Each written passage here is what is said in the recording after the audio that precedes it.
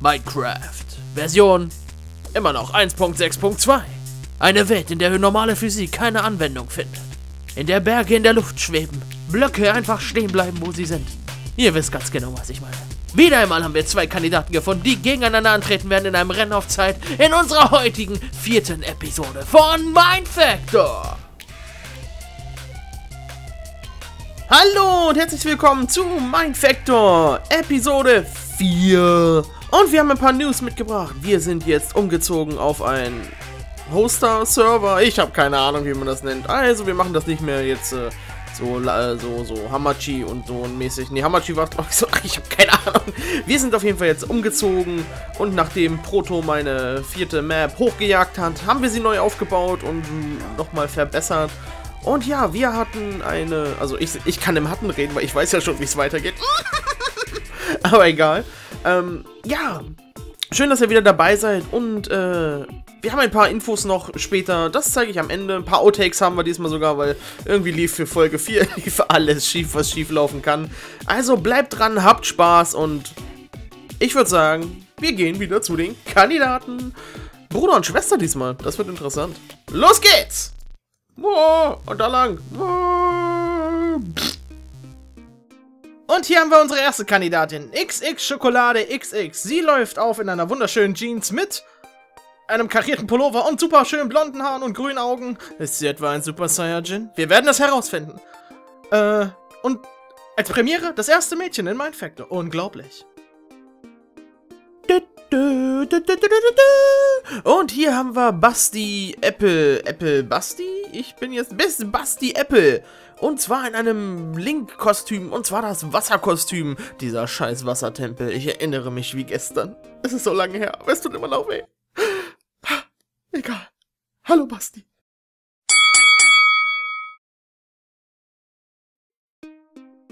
Ja, hallo und herzlich willkommen, Basti, unser Link-Verschnitt und äh, Schokolade in Mindfactor Episode 4. Wie geht's euch? Wie steht's? Ganz gut.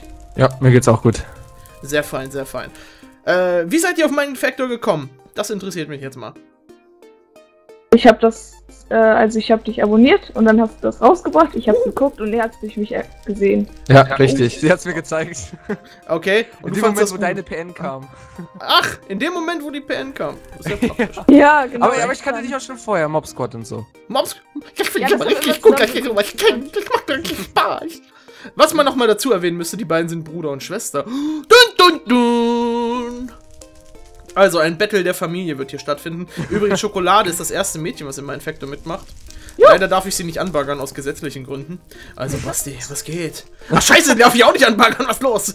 Also, in der Truhe hinter euch findet ihr ein bisschen Fleisch. Glaubt mir, das werdet ihr brauchen. Hm. Ey, ey, Jungs, Jungs, wo seid ihr? Die klauen unser Fleisch. Guckt mal, die klauen unser Fleisch! Okay, so. Habt ihr denn die anderen Folgen schon gesehen und wisst, was euch auf euch zukommt? Ja, er nicht. Ich schon, ich habe mir sie eben angesehen. Aha, aha. Er wollte dich frame, er wollte dich frame. Nee, sie wollte dich frame, so rum. Klatsche, Alter! Los, klatsche. Nein, nein, mach das nicht. Alter, Alter, ganz ruhig, ganz ruhig. Ganz ruhig, keine Gewalt, keine Gewalt unter Geschwister. So, wir gehen jetzt erstmal los und losen aus, wer von euch beiden anfangen darf. Warum ist die Truhe gerade von alleine auf und zugegangen? Geister? Man weiß es nicht. So, dann kommt mal raus. Ihr dürft jetzt den. Ja, okay, ihr müsstet euch. Alle, ich finde ich lustig. Alle stellen sich immer auf die Steine drauf. Ja, aber das Müssen sie gar. Okay, dann darf einer meiner lieben Mitarbeiter mal den Schalter betätigen, damit wir herausfinden, wer zuerst anfangen darf. Und, äh, ja, los geht's, würde ich sagen. Okay. Ja, das war ich. Okay, okay, du warst das. Was ist, was ist daran mit random? Ja, Ach, ja, das ist eine 50-50 Chance. Ist klar, dass das ein bisschen. Dreimal gegen Mainz hoch. Dann kommt halt ein bisschen öfter. Okay, das war's. Und dann auf zum Parcours. Los geht's! Ja, und hier sind wir in Folge 4 bei dem Parcours 4 von mir designt, von Proto mehrfach zerstört. Hast du irgendwelche Spacko-Anfälle hier unten? ähm, von Proto zerstört und äh, dann wie. Ah! Da hatten wir einen kurzen Kameraausfall. Sowas passiert, ist alles live. Ähm, was wollte ich jetzt sagen? Also Proto hat sie kurzweilig zerstört.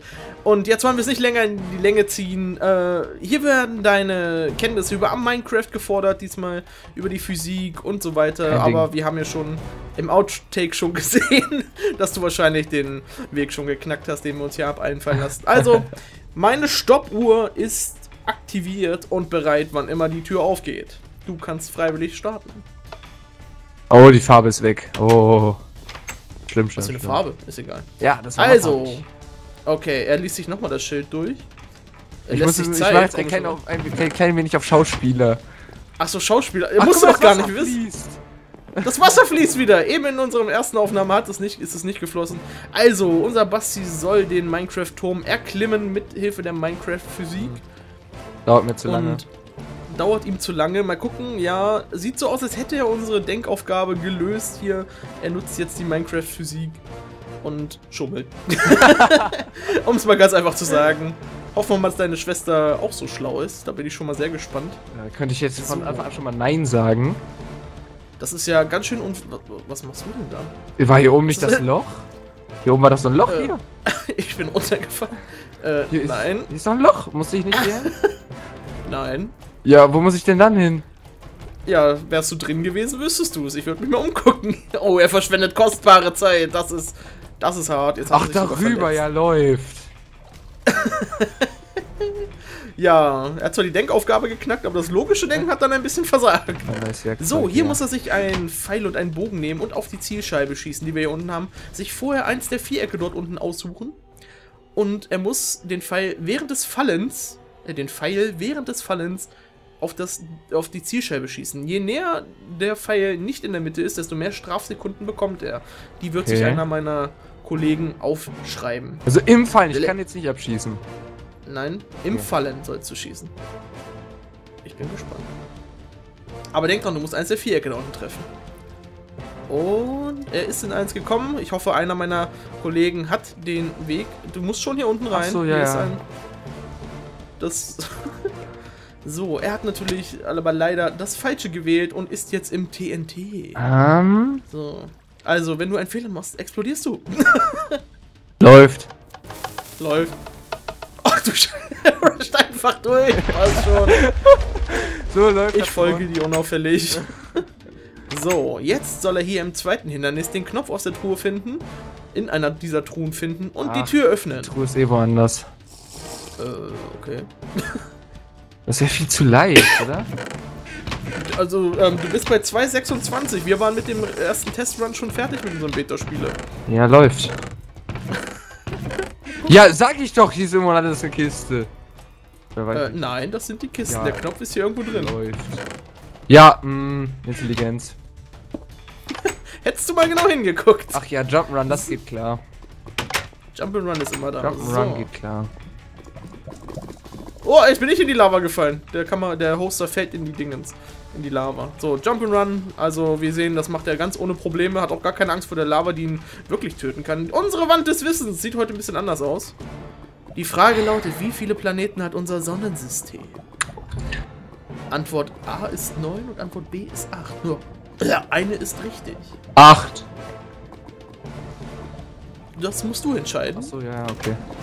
Ah, ist mir schon wieder in die Lava gefallen. Also heute habe ich die Kon Sieht gut aus. so. Wähle eine Lore. Egal welche. Wähle eine Lore. Genau, und kannst du dir frei selbst aussuchen. Und los geht's. So. Und er hat sich eine ausgewählt. Es sind drei Loren, jede hat eine unterschiedliche Länge. Huch. Oh.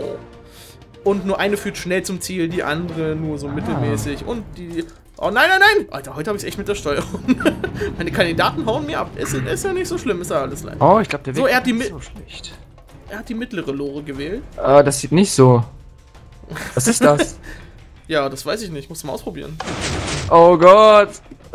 Ich hab Renn um dein Ja. Leben stand auf dem Schild. Er muss den Turm erklimmen. Ja, läuft.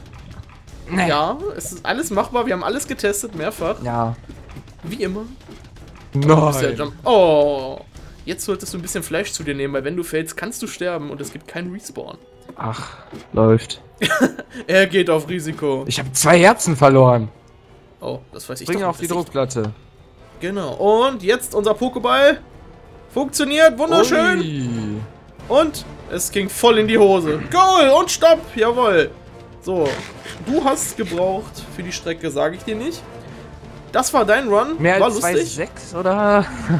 Das kann ich dir noch nicht sagen, das ist ja in der Siegerehrung dann immer so überraschend. Ach so, okay. Wenn du willst, darfst du jetzt hier auch in der... Ah, tot springen! Meine Schwester hat gay in den Chat geschrieben. Gay, okay. Dann werden wir sie gleich nochmal mahnen. Okay, willst du springen oder nicht? Kannst du dich entscheiden. Will. Kannst jetzt nochmal was zu den Zuschauern sagen. Okay, Er springt alles einfach. klar. Er springt einfach. Okay, wir gehen rüber zu Schokolade. Wir kommen. Okay, wir sind jetzt da und hallo Schokolade. Hallo. Du springst auch so komisch durch die Gegend. Ja. Ja, wir hatten gerade wieder technische Probleme. Das ist nicht so. Also, wie ich eben schon erklärte, deine Zeit läuft, sobald die Tür aufgeht und deine Denkmuskeln sind gefordert hier.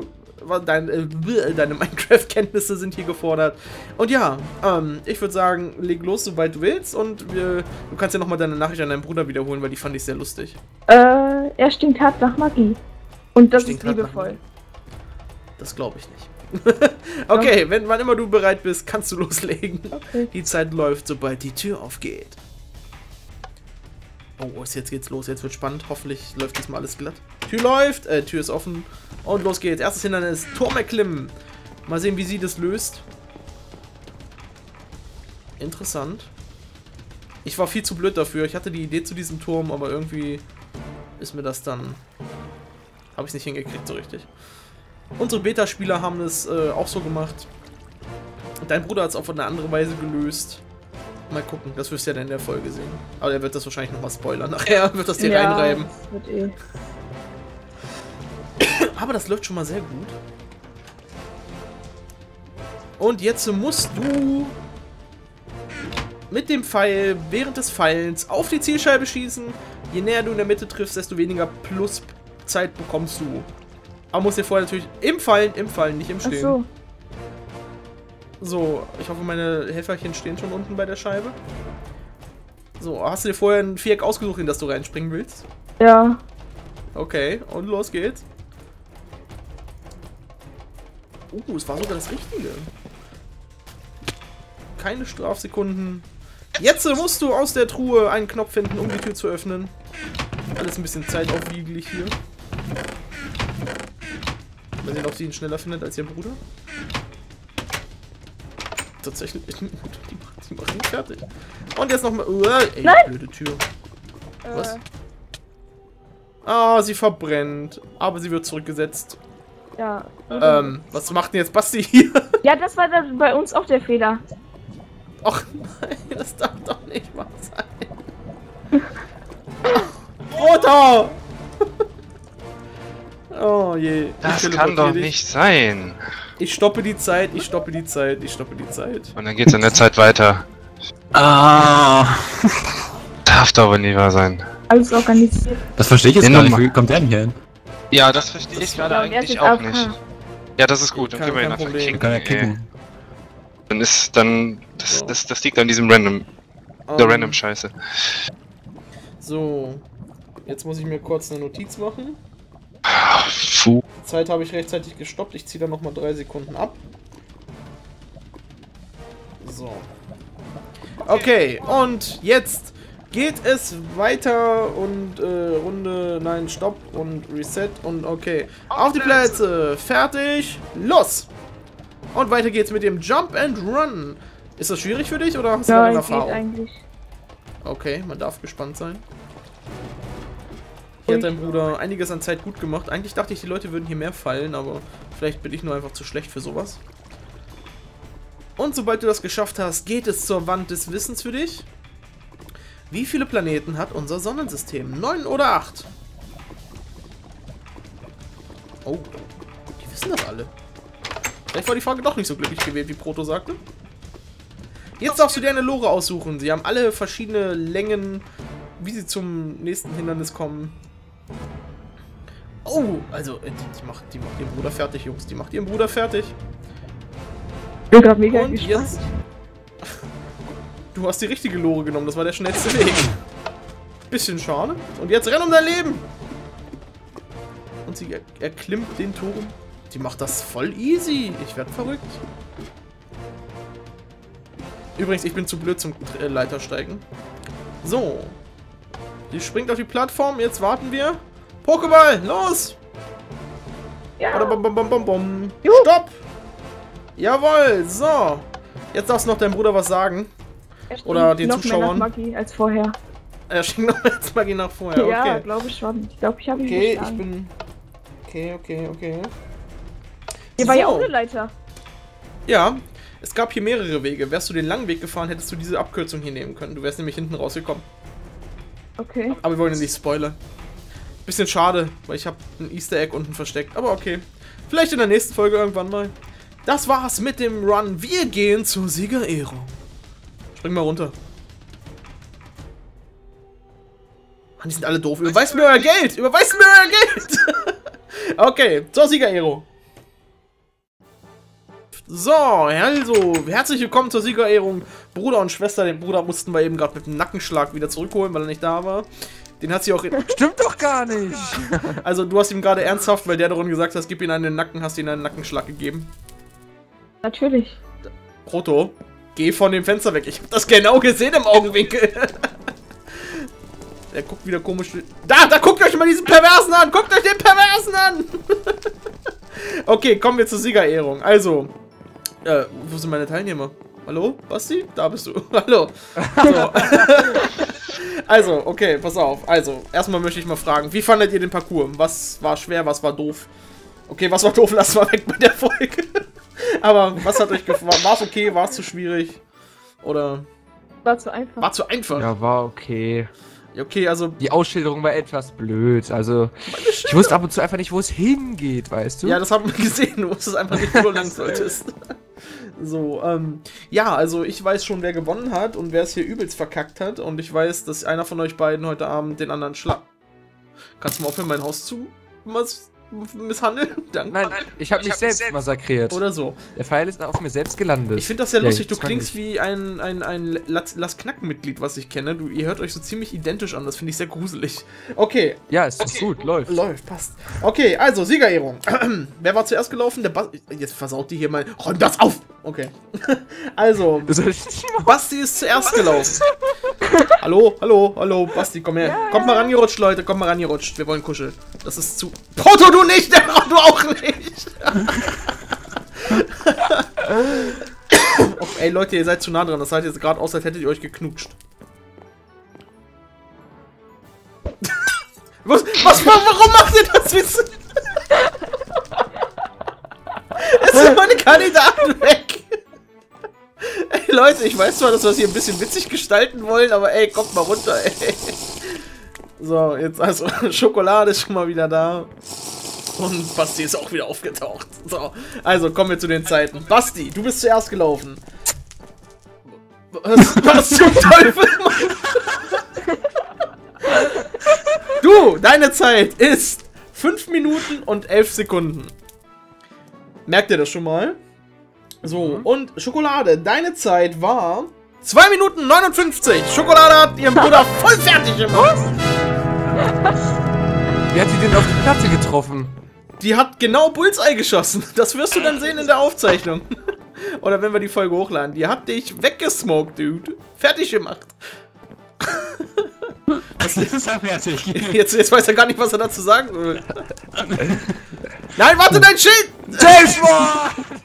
Ja, okay, das hatten wir in der letzten Folge schon. Wir ignorieren das jetzt mal einfach. so, ihr könnt eure Schilder anbringen. So, herzlichen Glückwunsch, Welche Schokolade. Zeit hatte ich nochmal? Äh, äh, deine Zeit war 2,59. Oh je, das. ja, nein, auf keinen Fall. Hallo Proto, der sich wieder ins Bild schleicht. Hier, unser, unser Basti braucht nochmal neues. Hör auf, so blöd zu nicken. unser Basti braucht nochmal ein neues Schild. Der hat's nämlich äh, versaut. Hör auf, deinen Arsch entgegenzustrecken, Mann! So, Schokolade schreibt ihre Zeit. Jetzt hör auf mich abzuknutschen, Mann, das ist ja so eklig. Ich muss. Ich, ich kündige, ich hör auf, ich, das war's. Wer macht da mein Glas kaputt? Oh, Ich brauche jetzt ein Schild, Mann. gib ihm doch endlich mal ein Schild, verdammte Scheiße. ja. Ja, da liegen sogar zwei. So, jetzt bring dein Schild an. Deine Zeit war Vier. 5 Minuten und 11. Proto macht in der Zeit nochmal heile. Können wir bitte seriös die Folge beenden? Ich kann nicht mehr. Oh Mann. Eigentlich solltest du deinen Namen auf das... Ach nee, Schoko. Ja gut, okay, bei Schoko wissen wir, wer gemeint ist. Vielleicht passt der Name ja auch nicht aufs Schild. Kannst du mal vor dem Schild weggehen, bitte?